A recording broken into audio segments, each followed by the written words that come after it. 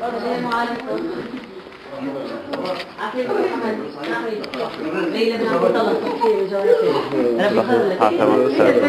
لكل مستمعي جوهر فهم وشكرا لاختياركم للاستماع لنا كما قلت نحن في بث مباشر بالصوت والصورة اللي تنجموا تتابعوه عن طريق الموقع نتاعنا على الانترنت على www.bonjourfm.net تدخلوا الويب كام تنجموا تتفرجوا فينا في النقل وهذه المقابله المباشره مع السيد رئيس الوزراء الجديد السيد حماد جبالي اللي نحب نوه بحاجه قبل ما نبدا حواري معاه يا أشرف. نحب نحييه تحية كبيرة على تواضعه على قبول دعوتنا يعني الحمد لله اليوم بعد الثورة نشوفوا رئيس حكومة يستقبل صحفيين في داره من غير تكلف. يعني بلباسه اليومي العادي يعرفنا بعائلته يدخلنا القاعة الخاصة وأكيد هذه والحمد لله يعني من الحاجات الكبيرة اللي نفرحوا بها في تونس. ونقول إن شاء الله نشوفوا يعني التواضع هذايا عند كل الوزراء وكل اللي باش يتبعوهم حتى سابقا إن شاء الله في مختلف الحقائب الوزارية. كيف ما قلت نحن في بث مباشر حبيت نحيي تحية كبيرة سي حمادي. رغم الضغط رغم التعب الكبير نعرف البارح يعني تنقل سيدي بوزيد نعرف برشا ضغط وسائل الإعلام الكل تجري وراء الإجراء محادثات ومقابلات حصريه الحمد لله اللي هو خصنا يعني بالحديث هذايا وإن شاء الله نكونوا معكم مستمعين وتحسن الفائده من خلال اللقاء هذايا بداية مرحبا بك سي حماد الجبالي رئيس الوزراء الجديد. وشكرا لقبولكم للدعوه في البداية. شكرا لكم واهلا بكم مستمعي جوهر مرحبا بكم. ربي يخليك. سيدي رئيس الحكومة كيف تنظرون اليوم إلى تونس بعد سنة من من الثورة؟ أنظر بواقعية كبيرة. ولكن بتفاؤل وعزيمة إن شاء الله. طبيعي جدا تعيش بلادنا مرحلة ما بعد الثورة هذه مرحلة معروفة. فيها إعلانات فيها تحديات فيها تغيير فيها أمال فيها مطالب كبيرة. وإمكانيات ربما متواضعة آه هذا قدرنا نقول وليس لنا آه إلا النجاح. ولا بديل عن النجاح إن شاء الله. قادمين على مرحله عزيمه كبيره ومتسلحين ثقتنا في الله ثقتنا في شعبنا ثقتنا في إمكانياتنا وحتى لو كان مستطاعا ربي يوفقكم بطبيعة الحال في هالرهان الكبير الحقيقة سيدي رئيس الوزراء يعني العديد يسأل لماذا طال انتظار الحكومة والإعلان عن تشكيلة الوزراء؟ وقتاش باش نسمعوا؟ يعني البعض يقول في بداية الأسبوع هذا البعض يقول لا مازال شوية. نجمش نعرف تاريخ ربما للإعلان عن التشكيلة الرسمية؟ أولا لم تطل الانتظار لم يطول الانتظار. إحنا وفينا من دراسة والموافقة على القانون المنظم للسلطات. تقريبا بضعة أيام. ولا يمكن تشكيل حكومة إلا بالإقرار هذا القانون المنظم للسلطات وبعد أيام مباشرة تم التكليف تكليفي من سيادة الرئيس بتشكيل الحكومة ولم يمر على هذا التكليف إلا بضعة أيام إن شاء الله بداية الأسبوع اثنين غدوة بعد غدوة إن شاء الله أقصى تقدير سأضع بين يدي رئيس الجمهورية القائمة تشكيل الحكومة. وبدوره سوف يطرح على مجلس المجلس التأسيسي. الذي سوف يدعو إلى جلسة إن شاء الله لنقاش التشكيلة الحكومية. هذا باش يكون أربعة خميس أقصى تقدير. وبالتالي خلال الأسبوع القادم سوف تتشكل الحكومة.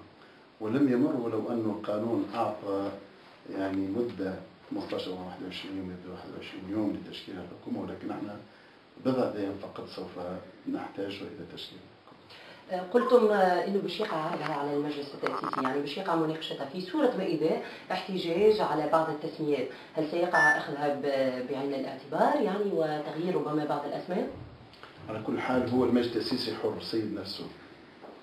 نعرف ستقدم التشكيلة وتناقش في يوم إذا أرادوا وإذا اتفقوا أتفق المجلس أن يناقشها تفصيلا فهذا من حقه. المهم أن لا يطول كثيرا لتزكية الحكومة حتى نتطرق للعمل. هذه إذا مهمة المجلس التأسيسي ولن نتدخل في ذلك. يعني ما جاوبتنيش يا حمدي في صورة ما إذا عدم الاتفاق على بعض الأسماء ولا بعض الاحترازات. هل يقع الأخذ بعين الاعتبارات الاحترازات هذه؟ لا من ناحية القانون هو الموافقة على التشكيل الحكومية مش وزيرا وزيرا. التصويت سوف يتم على التشكيلة الحكومية. بأغلبية فقط.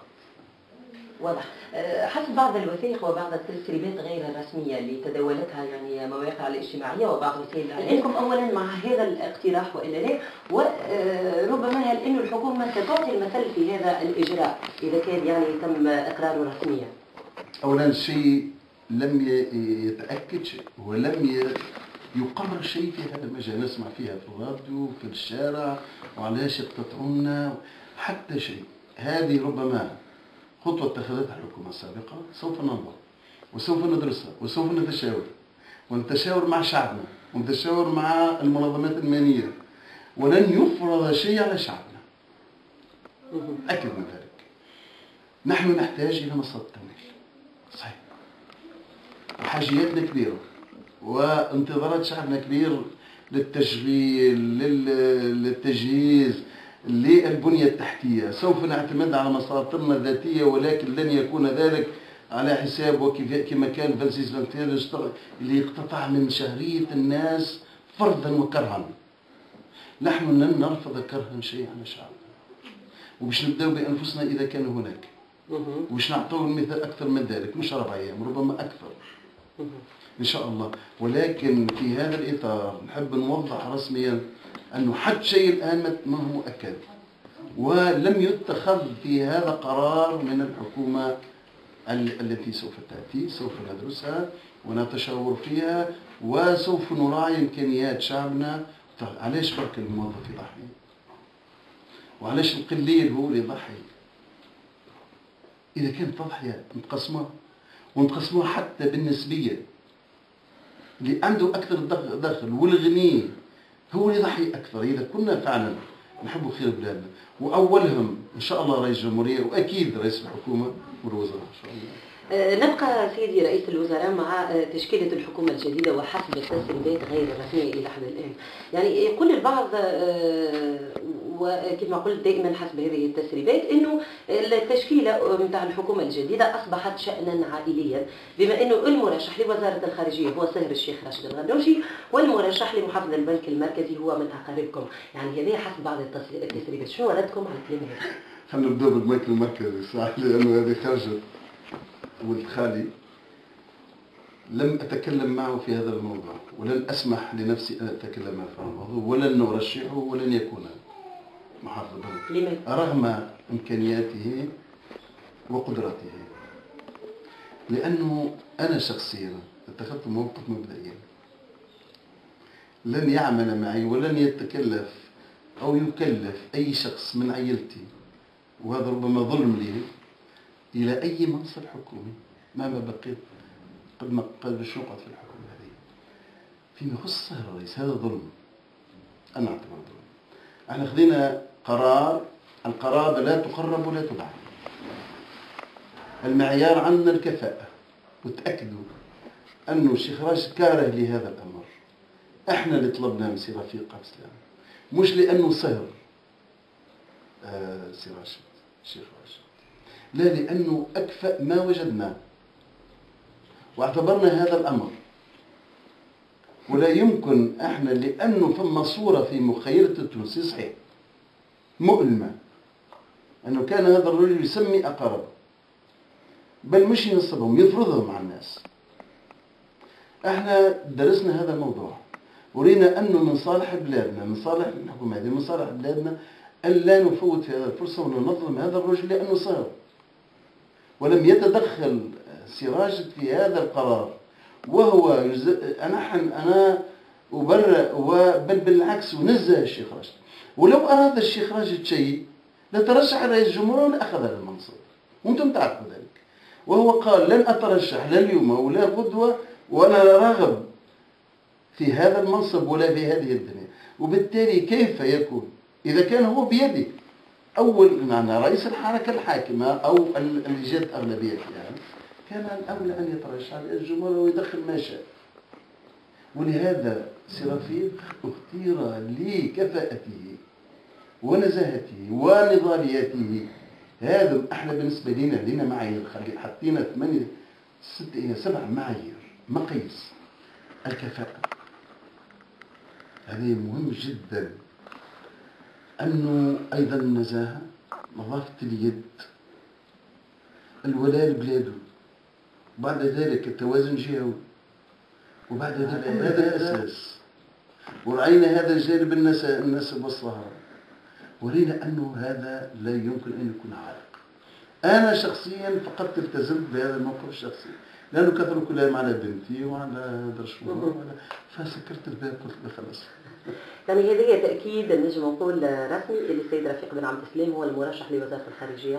استنتجت بما حصلتني نعم سي رفيق سيكون وزير الخارجية. على ذكر ال scoop يعني وزارة الداخلية ووزارة العدل كيف كيف معناها اللي هي من حق من حق بعد باش تقولي شكون اساميهم؟ اي ماذا بينا يعني exclusivement على فهم أنا باش نعطيك هذا فقط اذا مثال سي علي العريض هو وزير الداخلية والعدل سي نور الدين البحيري بعد ذلك ما تستنيش حتى نخلينا نقدم آه، القائمة للسيد الرئيس.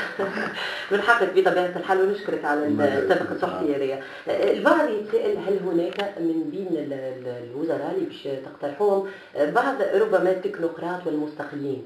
صرنا بما انك جبت على الكفاءة وإلا لا سي حماتي أغلب الوزراء تكنوقراط. اغلبهم نجم نعجبهم بدون تسليم على الأقل سمي لي الوزارات. التجهيز التكنولوجيا البيئة التجارة الصناعة الصحة. كل هذه الوزارات هي وزارات تكنوقراطية بالمعنى أنه اللي, اللي, على رأسها إنسان مختص في هذا الجانب. حتى ولو كان ظهر لك مثلا سياسي رجل سياسي. هل نعطيك مثال في هذا؟ واضح. نزيد نعطيك اسم آخر؟ الدكتور عبد اللطيف المكي. هو طبيب صحيح ما مش مختص. ولم يبلغ الدرجة العلمية. ولكن بالنسبة للوزارة الوزير مش المعيار الوحيد الدرجة العلمية. لا هو بالضرورة. الوزارة هي منصب سياسي. إذا اجتمع السياسي مع التكنيك أو التكنوقراطي هذا أجمل مثال وهيك علاش تشوف سي عبد اللطيف المكي هو رجل علم ورجل أيضا سياسي. وهذا هو الموقع الصحيح للوزارة هو الوزير ويرسم السياسات ويفتح الآفاق. التكنوقراطيين بعد ذلك يجي المديرين العامين أو رئيس الديوان وغيره. وما تبقى من الجهاز هو الذي سوف يعينه على المستوى التقراطي لكن الوزير دائما يرسم السياسات ويتابع ويرى ماذا يحدث في وزارته من تغييرات كبرى يعني ما يسمى بالفرنسية الماكرو. مش باش يدخل في التفاصيل. لكن لابد أن يفهم في هذا القطاع. أنا باش نزيد ندلل عليك شوية سيد رئيس الوزراء. فيما يخص وزارتي التربية والتعليم العالي اللي أثار البعض منها يعني جدل وقالوا آه، خاصة يعني المعارضه قالت ماذا بينا النهضه ما تحطش يديها على سوس وزارة هذه سمعنا حسب التسريبات ديما نقول غير الرسمية إن وزارة التعليم العالي باش تكون نهضه صحيح هذا ولا صحيح. طبيعي جدا. إحنا المفروض منه أن يكون وزير في هذا الشأن. من الاختصاص أيضا؟ وأعلى ما تم من اختصاص هذا الوزير. أستاذ بروفيسور معروف بنظريته أيضا. شكون؟ تسأل واحدة. آخر اسم مثال آخر اسم سي مصطفى المساوي سي آه، منصف المساوي معروف. وهو منظر في الرياضيات. وأرقى ما فما. حتى حتى ربما عنده شيء. معارضين الخصوم يعترفوا له بالقيمة العلمية والقيمة النضالية تقول لي إحنا باش ندخلوا باش نغيروا ما باش نغيروا حتى شيء. وتأكدوا أن منظومة التعليم هذا شأن كبير. مصير بلادنا مصير أولادنا مصير أجيالنا. لن تدخلوا هذه الحركة إلى إصلاح هذه المنظومة إلا باستشارة واسعة. لحوار وطني. ولن يكون التغيير هذه السنة على أي من البرامج إلا إصلاح هذه الوزارة ودفعها إلى الأمام وأن تأخذ الأمور مجراها باتفاق مع الاساتذه مع النقابات ولن نتعسف على سيدي عهد حبيت نحييك على اللقاء هذا. تحياتنا ليك السيد حماد الجبالي رئيس الوزراء الجديد. حبيت نقول حاجة مستمعينا. اكتشفنا في ضيف في ضيفنا اليوم آه، جد حنين بشر من خلال تعامله مع حفيدته اللي قابلتنا في وسط الباب كيف كيف أب قلبه كبير مع بناته من خلال تعامله معهم. وأيضا آه، الحقيقة إنسان آه، فرح بينا. دخلنا لداره. وكما قلت الحقيقة هذه سابقة في الإعلام الوطني. اللي شخصيا يكون لي الشرف باش أجريت الحوار والمقابلة هذه. إن شاء الله مستمعينا آه، نجحنا في توصيل أصواتكم في توصيل مشاغلكم آه، لرئيس الحكومة الجديد. وإن شاء الله في لقاءات إذاعية قادمة بإذن الله. شكرا لكم على الاستماع على المشاهدة. آه، كلمة الختام سي حمادي لكل الناس اللي يسمعونا من قبيله شكرا أنا نحب نحيي شعبي نحب نحيي الناس البسطاء. رب العائلة البطال. واللي يسمع فيا أبسط الناس وقول لهم إن شاء الله. أنا أكون سوف أكون معكم بسيطا منكم وإليكم إن شاء الله. ولا ترون في هذا المنصب عائق ولا حاجز يوصلكم إلى هذا المسؤول مهما علا. فإحنا أجمل ما آه، لقب سمعته نحن خدام الشعب والسلام ربي يفضلك سي حمادي. شكرا لكم مستمعينا. مرة أخرى نجدد تحياتي للجميع تحياتي الفريق التقني اللي تنقل معايا مباشرة إلى منزل السيد حمادي الجبالي نتقابلوا إن شاء الله في مصافحات إذاعية أخرى.